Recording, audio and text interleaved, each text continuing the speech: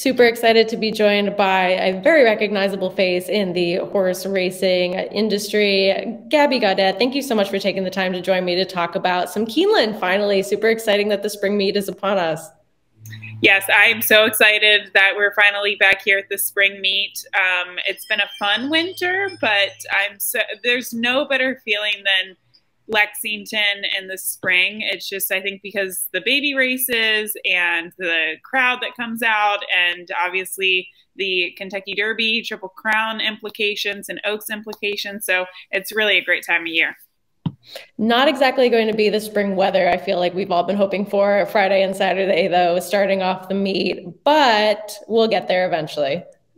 Well, it's kind of typical of Lexington, Kentucky, right? That it would probably there's a chance of snow on Saturday. it's just it, it is what it is.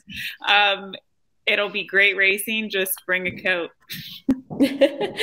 yes, I have my rain jacket. I will be there Friday and Saturday. You'll be there every live day of racing. Um, super exciting stakes action going on on Saturday.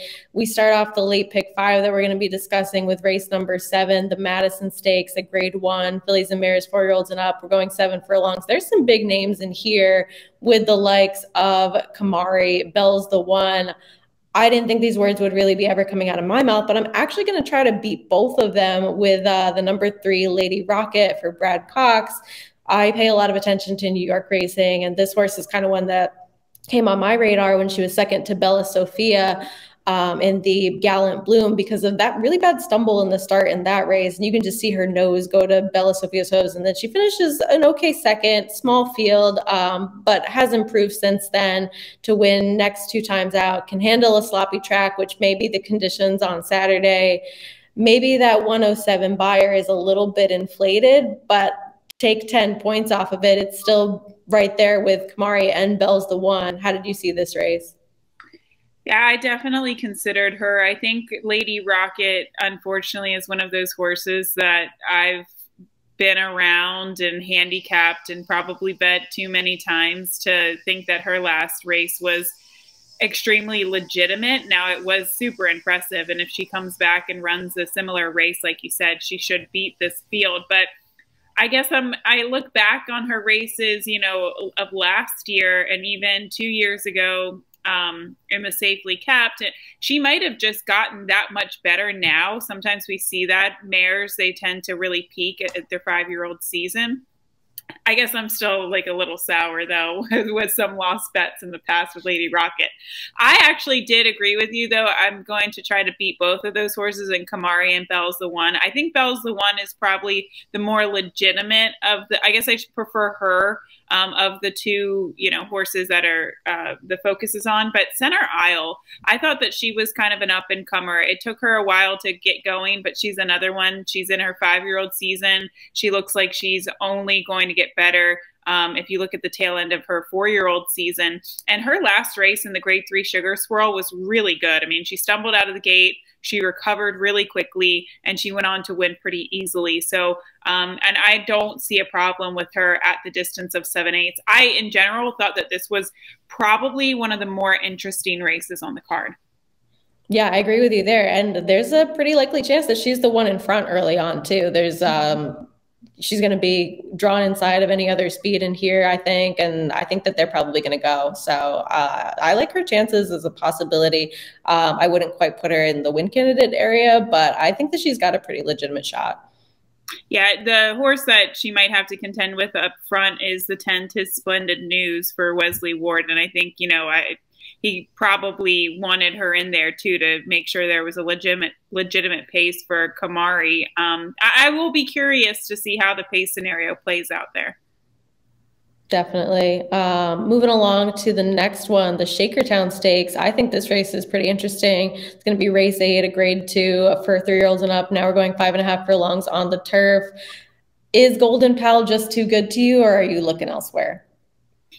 I think he's too good. I, you know, I try to beat these Wesley horses during the spring and the fall, and it's just, you know, um, it's a moot point because they wind up winning. Um, you try to poke holes in him.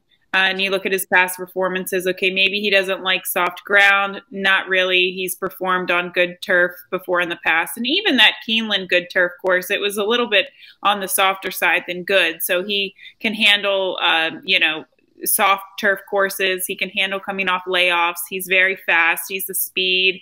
He gets Irad. It's Wesley Ward at Keeneland. I just think it's I think he's going to be very, very tough to beat. Um, beyond him, though, I think Cowan is an interesting horse because if you look at him when he ran in the Breeders' Cup Juvenile Turf against him in 2020, um, you know, that was a really solid effort. He's kind of one of those horses that can sprint turf or dirt. And sometimes I like those horses on softer ground. So I used those two, and I got to throw in my boy Diamond Oops. I have literally picked him every time. Like, I am on air and he's in the in a race. Um, so I just I have to throw him in. If I did not use him in the top three, I would feel extremely guilty. I think we all have those horses where it's like no matter what, we kind of bet them or pick them every single time. And um, I'm guilty of that with Midnight Bourbon. And it's like, oh, this horse doesn't ever win, but I can't stop picking him. I feel that.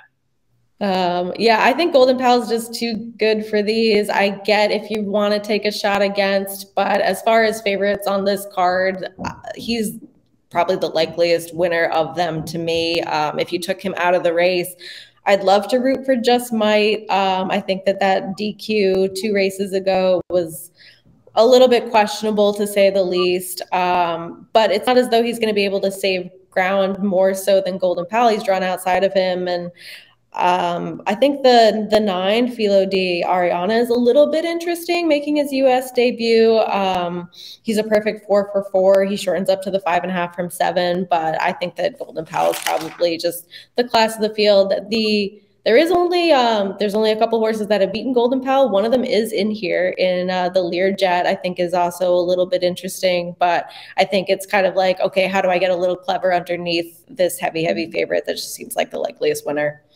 And I've always found it, I am a huge fan of Just Might as well, but I've found that when you have a horse like Golden Pal who looks to be the best and horse to beat, um, you don't really want horses that have to go after him, right? He's going to be pressing the pace, and I would just prefer to have a horse that might close into that pace and try to get Golden Pal after putting in all the dirty work.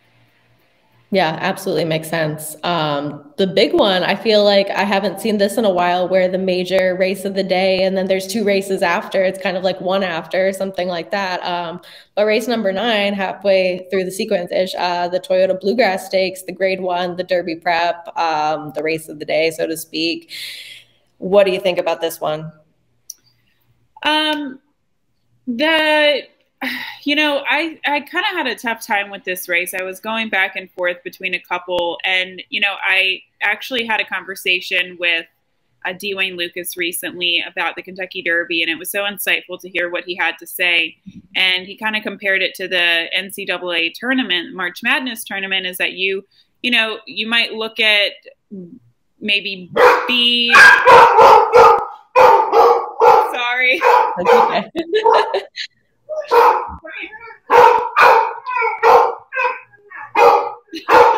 Hold on one second. Um, you never know what's going to happen at home. There's so many uh, unpredictable things. Okay, I at least have a hold of him. That's Waylon, if you were interested. He's a um, uh, he said, Wayne, D. Wayne Lukas said, you know, it's really hard to um, for the Derby, what makes it so fascinating is that you get horses from all these different venues, all these different tracks, and you might think that, say, um, Keeneland is a better track, or uh, like the Derby preps at, at Keeneland, or um, Gulfstream Park, or the fairgrounds. But sometimes that's not necessarily the case. So um, and that's what we get with the bluegrass. You get horses who've been wintering in all different places throughout the country. So it's really hard to predict, you know, which races were the the better ones. Um, I went with Zandon. Uh, fun little fact: the you you can't be too far off of the pace in order to win. Um, at least since the bluegrass went from synthetic to dirt at Keeneland. You have to be either stalking or on the lead in order to win. And I think Zandon actually gets that trip. He had a bad trip last time out. He dwelt, he hopped out of the gate. Um, but I think his preferred running style is to sit that right type of trip, just be behind the pace setter. So Zandon will be my top selection. I'm curious with Ethereal, Ethereal Road because I thought he had a really wide trip and had to make an early move last time out too. And then Smile Happy, you know, he's a legitimate horse. Um, I just worry about that outside post. Yeah, Zandon is my top pick in here too. I would love to see him get the right setup and um, get a win of his own that isn't you know, kind of like, oh, well, he didn't break, or oh, well, the, everything that happened in the Remsen with Mo Donegal, like, I want to actually see this horse um, get the credit that I feel he deserves and get a win for his own in the bluegrass here. And uh, I agree with everything you said. I think he's going to be able to stalk the pace. Um, I think Fenwick will probably go again. Um, the two Todd Pletchers in here, I kind of have my rose colored glasses on for Charge It of the Pletcher horses, um, but not really for either of these two. I have obviously everybody has to respect the connections, but um, as far as Commandperformance, I don't see it. Um, but Todd must. So I think mm-hmm. that they're interesting, but not horses that I'd want to take at whatever price. At least he's not one to nine in here. Um, but I don't see it with this one for a little bit of a price underneath though. I've kind of always uh, been a fan of Volcanic, the number five, um, not as a win candidate, but as one to kind of round out your exotics or something like that, um, who beat Charge It when Charge It was making his debut. Uh, the race that kind of impressed me from him was as a two year old when he was in Saratoga. He totally missed the break and then ended up closing strongly at six furlongs there. Then they throw him in the hopeful, doesn't show up. Then he's off the layoff, comes back as a three year old. Obviously, not the best performance in the Sam F. Davis. Um, third to Classic Causeway, who was a no show then in the Florida Derby. But I think he's kind of like the, the third one that I'd want to use behind Zandon and Smile Happy. So I'm curious to see what we get from him. Yeah, there are a lot of horses in there that I think you can kind of pick apart and be and, and make them interesting to use in exotics like exactas and tries. I know a lot of people are on Emmanuel thinking that he might go gate to wire uh, for Todd. I just didn't really like his race in the Fountain of Youth. And with Commandperformance, um, you know, it's hard to pick a maiden in a race like this. So, uh, yeah, I, I'm kind of, and this is very unusual for me to pick against Todd Pletcher. Usually he has these flashy three year olds that I just absolutely fall in love with, but I'm kind of in the same boat as you. I, I think um, these two I don't know. They could win. It wouldn't be surprising, but I'm I just don't get that vibe from them in here. Yeah, agreed. Um, race number 10, allowance optional claiming, fillies and mares, four year olds and up. Now we're going a mile and a 16th. The favorite in here into Vanishing, second last time out to champion Letruska in the Grade 3 Royal Delta at a decent price in there. That was actually her only second start on dirt. Um, the first one on the dirt was on a sloppy track at Aqueduct where she was third. She's been super consistent, seven lifetime starts, six of which are in the money. She makes a lot of sense in here and will either be stalking or up near the front. Um, but if you're looking beyond the favorite, I think that the five temper time, getting back to the dirt after three starts at Turfway, is a little bit interesting. She comes in off a win. She has plenty of off track experience, including her maiden win at Churchill Downs. Um, she'll also be close early. For Iliogami and Tabor Hall, I kind of want to see one off the bench from either of them. Um, so nothing super creative in here for me. What do you think? Yeah, I I was with you with uh, Tabor Hall and Iliogami. You know, I thought that one the more legitimate horses in here, it, they're it's their first race in a long time in a couple of months, and it's probably easier to get away with it at Keeneland because a mile and a 16th, the way the track is, you know, you go to the alternate finish line and it's a little bit of a shorter stretch. And it, you can probably get away with it at Keeneland versus tracks like, say, the fairgrounds. I think you really have to get a horse fit in order to win, you know, at that distance, first off of a, a couple of months. But still, they might, you know, need a race. They might need to get some of the rust off. So Suki is actually the horse that I went with at don't I don't have the morning line, but um, should be a decent price. I don't think she's the best horse in the field, but I do think that it could be right time, right situation for her, and just stalking the pace and maybe catching some of these arguably better horses that might need a race. Um, so that's kind of how I assessed this. I thought even Miss Imperial, Jerry Hollendorfer's horse, might fit that bill too. With Into Vanishing, I, I just want her to prove that she is that quality. I mean, she was 30 to 1 in her last race when she finished second to Letruska. And sometimes we get sucked into – you know, saying, oh, well, she was second to Letruska. She must be really good. But I still think she needs to uh, prove herself a little bit. And once you get to those outside post positions, 11, 12, you know, you really have to be, in my opinion, much the best in order to win. And I think this is a pretty level playing field. Yeah, that's absolutely fair. And I mean, that was a complete merry-go-round race too. Last time, nobody really changed positions at all. So, um, Crazy Beautiful was in that race, but it's not like anybody really made up significant ground or had the opportunity to. So, yeah, absolutely. If you don't want to take a short price on her, um, I did just get the morning line earlier today. So, Suki's eight to one. I think Miss Imperial's 15 to one. So, some great opportunities for that. Um, and then to close it out, you go back to a five and a half furlong turf sprint, allowance horses, four year olds and up. Um, the favorite in here, one of the favorites, first time on the turf for a son of War Front in the striker. Um, ships in from Woodbine, has had two races on the synthetic, which were both wins. Horse he beat that day has come back to win uh, twice since when he was bringing his maiden. That's Ghostliner, which is a name that I remember because I needed Granger County and Ghostliner's last win. Um, so I was like, Who, how do I know this horse? But that was it. Um, if he runs the same race that he won uh, his maiden with, speed figures wise on the surface, he wins here but I think that I might be looking for one with the turf experience. Not that he won't take to it, but post 12 is kind of difficult in these sprints. Um, Charles Chrome, the six horse, is a little bit interesting to me. Second off the layoff, he finished third as the favorite after a bump at the start at Tampa. He gets another half furlong to work with, and he's not going to be way too far off of it.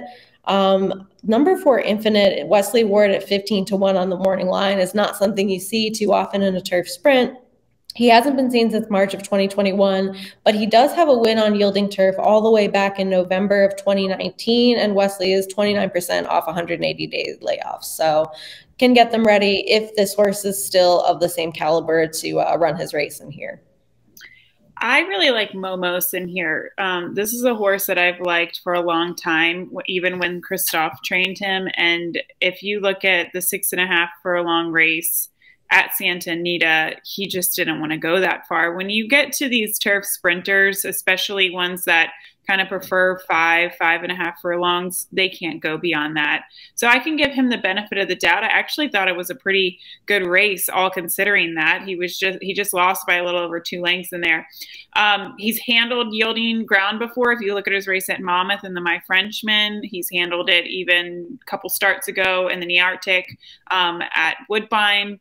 So I actually really like him, and I think he's going to be either on or near the lead with Saez, especially who's an aggressive rider. So I went with him on top. I did use Artemis City Limits as well. To me, he's kind of that true turf sprinter. And he's, I mean, he really does give it his all. If you look at his races in the last year or two, he's always there. He always hits the board. So I thought that you kind of wanted to lean on a very consistent sort, at least for the exotics in here. And then I actually didn't use striker in my top three. I uh, went to the four infinite as well. Layoffs don't bother me with Wesley Ward. I think you just have to kind of look to the class. And this horse might not be there in terms of class. I think it's interesting that he brought him back at this level in this very tough allowance race. But, um, you know, and Wesley Ward we trust, especially at Keeneland. Absolutely. Uh, Momos is one of those horses that fits that profile of I pick this horse every single time. Yeah. And this is like when I'm jumping off the bandwagon and I'll probably end up regretting it. But I did actually get to see him opening day of Saratoga last year. And it was a really hot day that day. And all day long, I was like, I'm going to place a big bet on this horse. Or sorry, it wasn't opening day. It was uh, August 11th last year. But um, I was like, I'm going to place a really big bet on this horse. This is the, my pick for the day. That's it. And he just did not look like he was handling the heat at all that day. Just seemed super washed out and not very lively. And that's not what I wanted to see from a horse that I wanted to go to the front. I think he ended up finishing fourth that day, but the heat not going to be a problem. The heat. Yeah. Yes. That's funny. Yeah, you won't have to worry about the heat at all. I think it. Uh, yeah, that's an interesting race, and I think the conditions of the turf will probably alter my opinion. Um, it, you know, it's going to rain a lot tomorrow on Friday. It there's a chance of rain or snow on Saturday. So by the time we get to the last race on Saturday, I'm just curious what kind of shape the turf will be in, even if the race stays on the turf. You know, there's so many unknowns with that last race. Yeah, absolutely. These are kind of like my my ideas if everything stayed as it should weather-wise and then a couple of mentions of ones that could handle an off surface, but I'm with you. I'm going to kind of see how it goes and call an audible on race day and see what happens as far as the weather. But um yeah, that should cover the sequence. And thank you so much for your time. I know you have a million and one things going on, so it it's much appreciated that you took the time to chat about this pick five with me today. Of course. Thanks for having me on and good luck with all your picks this weekend.